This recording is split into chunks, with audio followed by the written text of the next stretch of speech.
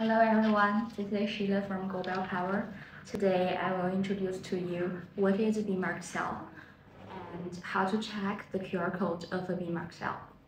As you may know, in Nordics market, there are lots of definitions of grade A and grade B cells. In order to create a transparent business environment, we, Gobel Power, will not use the confusing grade A or B systems.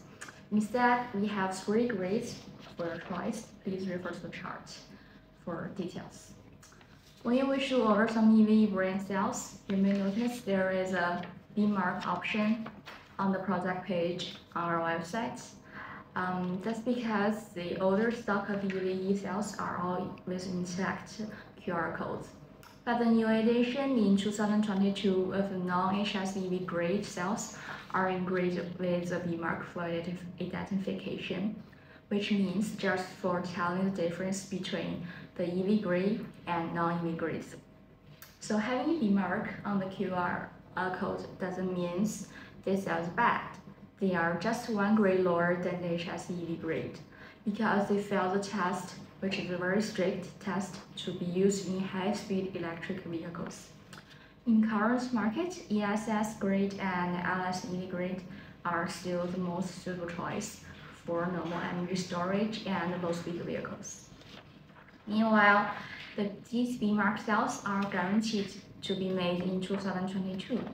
So if you wish to get some new ones, these are suitable for you.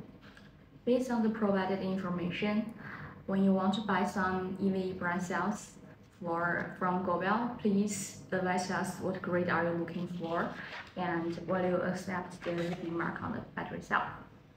Mm, about checking the QR codes, there are two systems for BMark cells and non-BMark cells. I'll link them below for references.